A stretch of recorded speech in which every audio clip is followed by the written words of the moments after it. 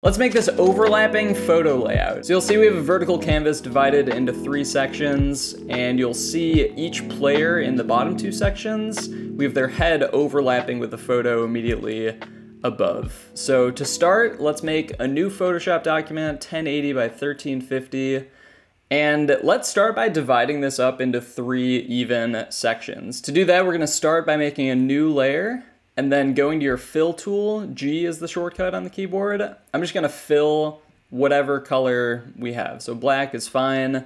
We're just gonna use this to basically create rectangles that are exactly one third of the canvas size. So holding command and hitting T is the shortcut for transform.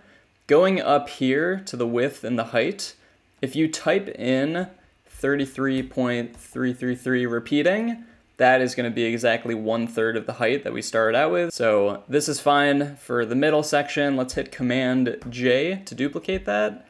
And then if you hit Command A to select the whole canvas, with your Move tool selected, you can justify to the top of the image.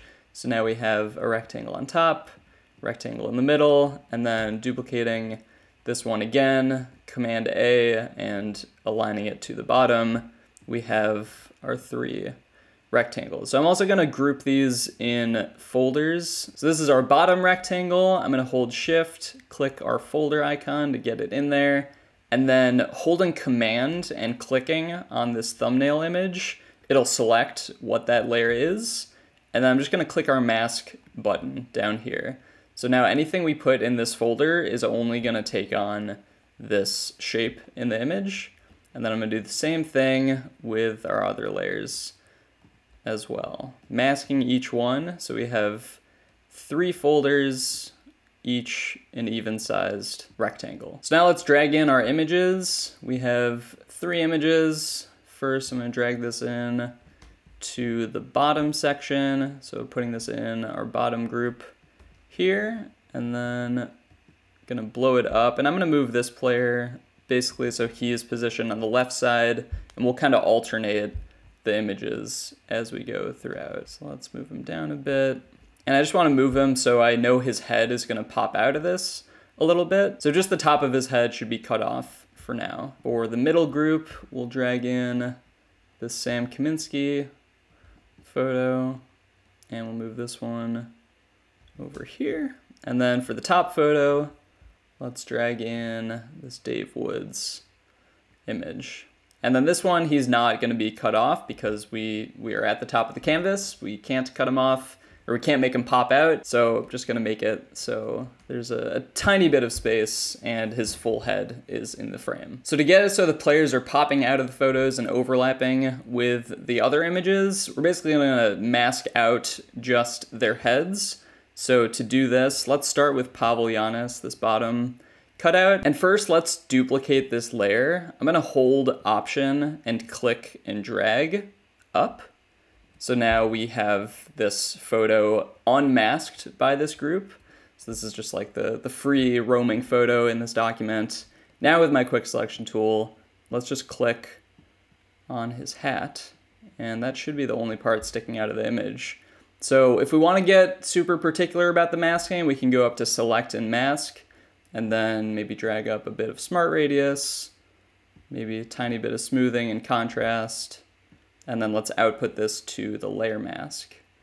So now we have his hat popping up, and since this layer is on top of everything, it is going over this middle photo. So let's label this hat, or bottom hat. Now let's do the same thing with Sam Kaminsky in the middle. Let's hold option and click and drag up. And now again, just with our quick selection tool, we're selecting Sam Kaminsky's head. Okay, there we go. Select and mask. Smart radius, a little bit is okay. And again, just some subtle adjustments to the selection before we output it to a layer mask. So now we have his head popping out as well, and you can't see it so well, so I'm gonna move him over a bit. Let's label this Kaminsky head. To make adjustments, I'm just gonna make sure Kaminsky's head is selected and then holding command, I can also select the Kaminsky photo, which is everything else. And then with my move tool, I can move these things around freely. So let's blow it up a little bit just with Command T to transform it. I just want to get a little bit more contrast of where he's sitting in that frame above.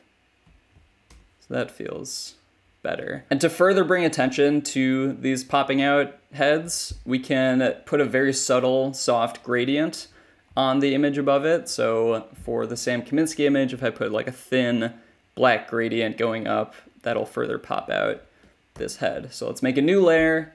Let's go to our fill tool, but the gradient tool. And then I'm just gonna hold shift, make sure it's set to black to transparent gradient. And if you hold shift and click and drag upward, just wanna be very subtle about this.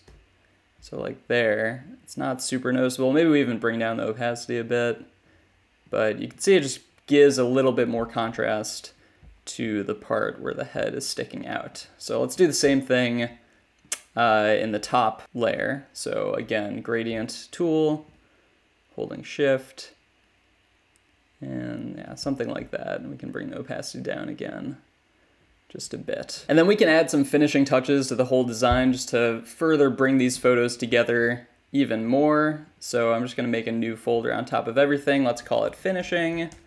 And let's start with a color lookup adjustment layer. Let's go with this two strip look, but I don't want it that extreme. So yeah, maybe 40%. Can also bring in a curves layer.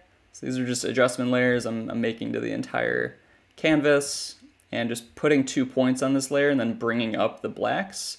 That kind of gives it this matte finish. You can even lift up the highlights a little bit. And let's finish with a, a, layer of grain over everything. So a new layer, Command A to select everything, hitting W for quick selection, clicking in the middle of your selection, going to fill, and then let's fill it with 50% gray, switch this to smart filters, and then go up to filter, noise, add noise, and we'll go with 8% and switch this blend mode to soft light. So before and after the finishing effects, always recommend you put on some master effects on top of everything, especially when you're doing some kind of composite image. It just helps bring everything together at the end and will make everything look more cohesive. And that is all it takes for the overlapping photo effect.